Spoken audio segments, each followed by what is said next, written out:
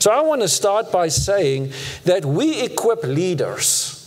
That's the first thing we need to understand. We equip leaders who then impact their communities. So our model is not necessarily to for crown to go to the end user. We believe that in equipping you who are living and moving and having your being in your community, that's how we will reach the community. It's impossible for us. It's been mentioned two or three times this morning that we are 24, 25 full time staff members in the home office. And then we've got uh, wonderful people all across the world serving their nations, but they also only a few. And it's impossible for us to reach all the people. So, how do we do that? By equipping leaders. And with what do we equip them with? First of all, materials and solutions that are based on the Word of God. Biblical principles. And Chuck shared it this morning, and I'm just going to iterate that again and reinforce that again. There's nothing that Crown will do that is not based 100% on the Word of God the inerrant Word of God. That is a core value, and that is something we strive for. We also, when we bring a solution, we want to use what people already have. We want them to understand that Crown is not coming to do um, relief work.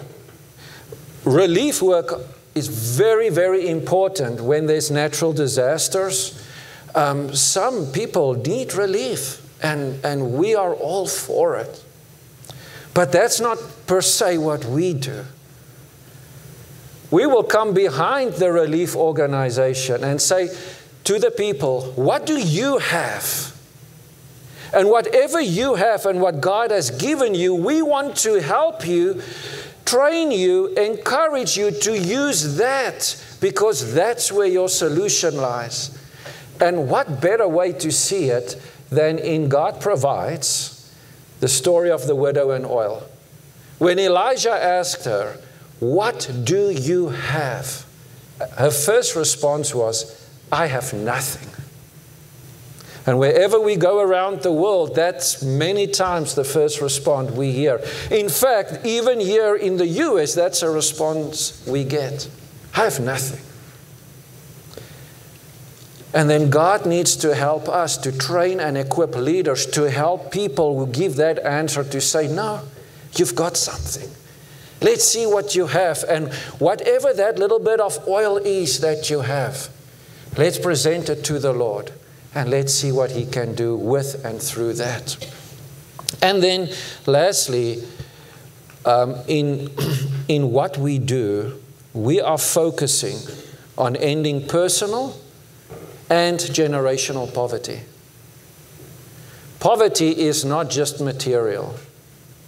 Poverty could be a lack of understanding, no, no, zero understanding of my identity, or a lack of purpose, a lack of financial understanding, a, a spirit of poverty, understanding and mindset of poverty. It, poverty is more than just material. And our aim in Crown Solutions is to address personal poverty mindset in all its all its uh, facades, but also generational. You see, in many communities around the world, you will see that people are born into certain situations. And many of them can never get out of that cycle. There are a few that break that cycle, and praise God for them. But we want to see the masses break that cycle and come out of that bondage that's holding them and stopping them from living lives that, that are flourishing, lives that Christ came to set them free from. We want to encourage them to live those lives.